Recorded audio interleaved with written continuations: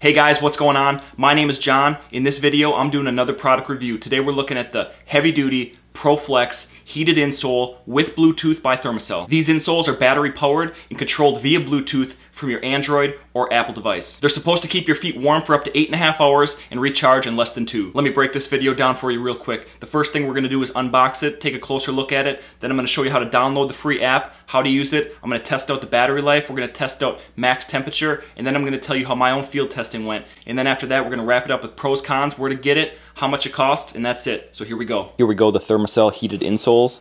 These are wireless, rechargeable. These are the ProFlex heavy duty with Bluetooth. If you're looking at them on the shelves, you're looking at sizes. You can find it up here. You can also find it at the bottom. Sizing chart in the back. We're going to talk about that a little bit later. Let's open it up. So you've got the two insoles, got the battery charger with the two batteries in it, charging cord, part that plugs into the wall. Got the instructions, Got one disclaimer telling you that these work different than the chemical heaters that you're used to. Uh, this is like a customer service card and then a bag to throw everything together. When you're done using them, really nice that they actually provide a bag. You just slip these in here like this.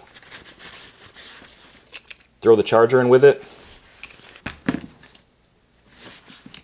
You're all set to go. The insoles themselves, pretty straightforward. Um, they're soft. There's a little bit of a tab in the back. You can see that right there. So when it's down in your boot, you can pull it out uh, flip it over. There is a little bit of a line. We'll talk about this in a little bit, but you can trim it to a certain point to fit your boots a little bit better. And then if you look really close, there's a number that identifies each one of your insoles. You're going to want to write that down and remember that. That helps you when it comes time to uh, sync with your Bluetooth, but we'll talk about that. Okay, let's look at the charger real quick.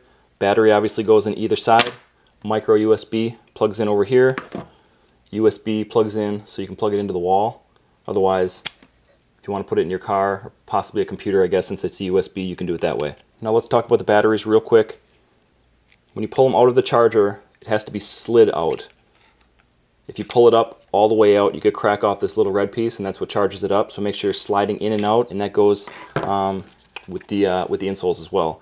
So what I'm going to do is slide one in, and when you're powered up, what you're going to see is right in here, it's going to blink red and green for 10 to 15 seconds, and that's just letting you know you have power to the insole now. The battery itself is really soft, so you're not really going to feel it too much when you're walking around, hopefully. As far as sizing goes, if you flip it over, you can find it at the bottom here on the heel. This is a large from size 7.5 to 9. To give you an idea what that looks like, um, this is an insole from a running shoe that's a 10, which is just slightly bigger. So I think the sizing actually is pretty decent on these. If they're a little bit too big, like I showed you before, you can flip them over and you can trim it. It gives you the line. You don't want to go past that line because that must be where um, some of the coils and stuff are in there and you don't want to damage those, but you can trim them a little bit to fit your shoe or your boot or whatever you're putting them in. I'm going to put up a sizing chart on the screen right now. If you guys want to take a look at it, pause it for a second.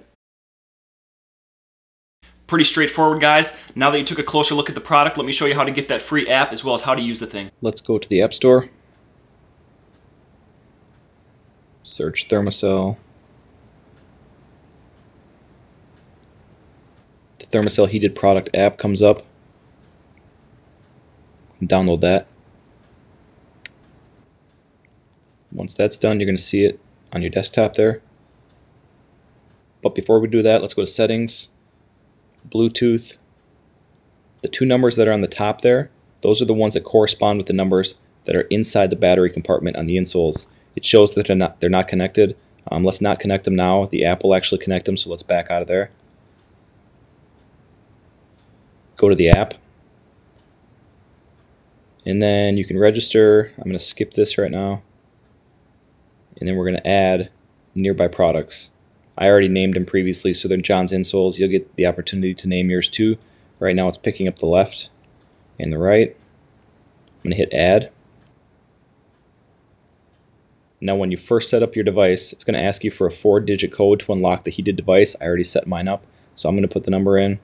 I hit submit. Okay, then here we are. It's showing that my insoles are inactive. I click on John's insoles, and now it takes you to your, you know, the main screen that you're going to use. What it's showing on the left and the right is how much battery is left in the left insole and the right insole. Right now it's on no heat, so they're not on. I can switch it to low. Now your insoles are on medium or high. The other thing that's kind of cool is you can link them. You can see link on top there. If I don't link them, you control them independently. Maybe your right foot's cold, your left foot's cold. but if you link them, they're always both on the same temperature setting. Now, if you back out of this app, it'll stay running in the background. Just because you back out of the app doesn't mean they're going to shut off. They do stay on, and then you can go and you know browse the internet and text your buddies or, or do whatever you want to do. So it does stay on in the background. And that's pretty much it. All right, now moving on to some testing. The first thing we're to look at is these lithium ion batteries. The claim is that they charge less than two hours and you're supposed to be able to charge them as many as 500 times. When you put the batteries in the charger, you're going to see orange lights come on. That means the battery is not fully charged. Each battery has a separate light. For this test, I completely drained both batteries before putting them in. After 1 hour and 51 minutes, the first battery became completely charged. 3 minutes later, at 1 hour and 54 minutes, the second battery became completely charged. Both green lights came on in less than two hours, so I guess that checked out okay. Now we're gonna move on guys. These batteries are supposed to last eight and a half hours on low heat when the insoles are powered up. We're gonna test that out right now. With the batteries completely charged, I turned the left insole on low and the right insole on high. Put together a time lapse hour by hour until the batteries were completely dead. For this test, the insoles were not in a boot. They were sitting out in a pretty ideal condition, about 67 degrees. The battery on low made it 7.5 hours with temperatures ranging from 80 to 99 degrees. 7.5 is just shy of the 8.5 hour battery life as advertised. The battery on high only made it 4.5 hours with temperatures ranging from 105 to 113 degrees Fahrenheit. If you're wondering how those temperatures compared to the advertised temperatures, on low setting the insoles are supposed to reach 100 degrees and I saw temps up to 99 degrees which is right on. As far as the high setting, temps are supposed to reach 115 degrees. I measured temperatures as high as 113 degrees, which is also pretty close. The next thing that I wanted to do was a temperature test looking at the hot and cold spots on these insoles using the infrared surface thermometer. And since a lot of you guys are familiar with the chemical hand warmers, I'm going to throw one of those into the mix as well. After 20 minutes, the chemical heater was only in the 90s, even though the max advertised temperature for this particular product was 156 degrees.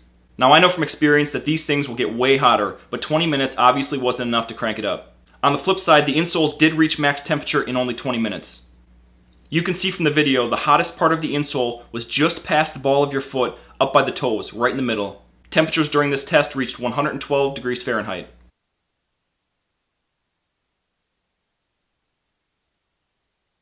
The rest of the insole didn't really heat up much at all, especially around the heel by the battery, it stayed about room temperature. This test showed me two things. The first thing is that the insoles warm up closer to the toes where people's feet typically get colder. The second is that even though I know these chemical heaters get way hotter than these insoles do, it seems that the insoles get to a maximum temperature a lot faster. Okay guys, now I want to talk about real world field testing that I did with these products. The first time that I used them, a huge snowstorm came ripping through, followed by temperatures that were well below zero degrees outside, and I knew I had to get in the tree stand for some late season bow hunting. I had a long walk to my stand, so I figured these heated insoles, perfect. Light boots, light socks. I can walk to my stand, no problem. Not lugging, you know, big boots with me. And uh, I'll flip them on when I get to the stand, no worries. I should have done a better job of reading the directions and trying to figure these things out first because it was a disaster. Within an hour, my feet were absolutely freezing to the point where I was uh, on the border of probably unsafe got out of my stand, had to head back to the cabin. So the first outing with these things, not so good. But before returning them or even throwing them in the garbage, I decided to actually open up the instructions, read it, go online, see what some other people had to say about it, and try to figure these things out a little bit more. Okay guys, two problems here. The first one was uninsulated boots. I thought I could just get to my stand, flip my phone on, these things would heat up, and I'd be fine. Not the case. You gotta have some kind of insulated boot to keep the heat in, and that was definitely my bad. But the second thing was, I really ran out of room, and it was, it was a tight fit.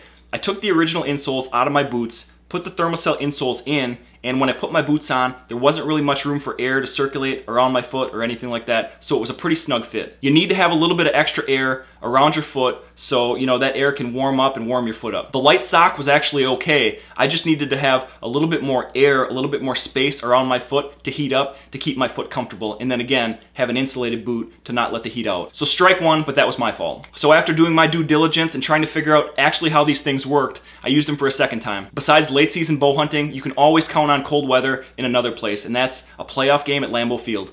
Kickoff temperatures were about 10 degrees and I spent four hours tailgating as well as three, three and a half hours in the game, so I was outside for probably seven to eight hours. This time around, I put the insoles in a little colder weather boot 1200 grams of Thinsulate, and for whatever reason, my later season boots were a little bit bigger, one size bigger, so I had plenty of space and air around my sock and around my foot. I will tell you that over the course of that game, and standing on cold concrete the whole game, I did not have any issues whatsoever with my feet getting cold. So I had these things on medium all day with no issues whatsoever. The interesting thing about it is with chemical heaters, you guys can feel how hot they're actually getting. Hopefully, you know, too hot where if they're on your skin, they may even burn you. You don't even realize that these are on, but if you start thinking about it, then you're like, well, my feet aren't cold, they're just comfortable. So the best way to describe it is just kind of a, a warm glow, I guess. So the Packer game was a way bigger success than my late season bow hunting outing. I had the right pair of boots on, the right pair of socks on, the right amount of space around my foot to let that air circulate, and uh, my feet didn't get cold whatsoever. So that's it for the field tests. I guess we can move on to pros and cons. Pros, it comes with a bag. Might not seem like a big deal, but I've got so much hunting crap that at least I can put all of this stuff in one bag and not lose a bunch of cords or, or, get it messed up with all my other junk. Number two, I found the app to be user-friendly, not only to download and to figure out how to use, but also to use in the field. Just make sure you guys keep your cell phones charged up. Number three, the battery's comfortable. This is one thing that I thought I was gonna have a big problem with, especially at the football game, standing seven to eight hours. I mean, your heel is right on top of that battery, but it's padded enough that you don't even know you have it in there. Four, the batteries charge up quick, less than two hours. The great thing about that is morning hunt, you come in for lunch or you go back to your truck or whatever, two hours, you get them both charged back up, put them back in your boots and you can go out for an evening sit. And I'm gonna list the battery life as a pro, even though it didn't make it to the eight and a half hours as advertised, you know, seven and a half hours is a pretty good run. And if you're gonna hunt all day and you don't have an opportunity to go back to the cabin, the house, your truck to charge these batteries up, you can buy a second pair, get them charged up, that'll take you through the rest of your hunting day. I'm gonna leave a link below the video in the description so you guys can check out the extra batteries as well. Number six, they actually work. I mean, provided you do everything right, you don't make a, a bonehead mistake like I did while I was bow hunting, but um, they do keep your feet warm. And number seven, they don't get so hot that your feet get sweaty and or you have to worry about, you know, chemical burns if they're right against your skin. Now we're gonna move on to cons. The only drawback that I found with this product is really just, you know, having the appropriate sized boots. So like I talked about, my early season boots, you know, they fit really well. I want them to fit as good as close to a running shoe as I can. If I gotta walk long distances, I gotta climb trees, I don't wanna, you know, have a lot of extra space and be lugging these big boots around. But in that situation, you have no room. These insoles are a little bit bigger than the original insoles of your boots, so you don't have the space to have the appropriate amount of air circulating around your foot to keep your foot warm. When I made the switch to the bigger boots, luckily I had boots that were big enough and allowed for a little bit more air circulation around my foot that these things worked really well. So I guess my advice to you would be either take your boot to the store, put the insole in and make sure you have enough room for your foot to breathe, or at a minimum, if you're getting these things shipped to you, at least try them on before you go out in the field to make sure that, you know, it's gonna warm up the way it's supposed to. All in all, as long as you guys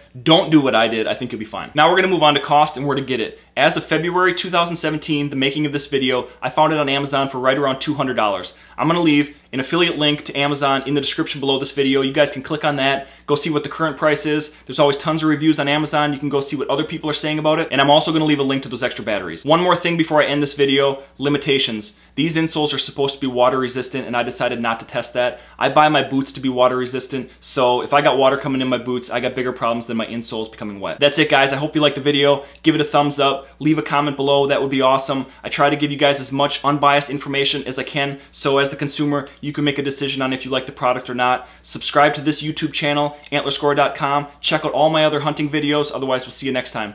Peace.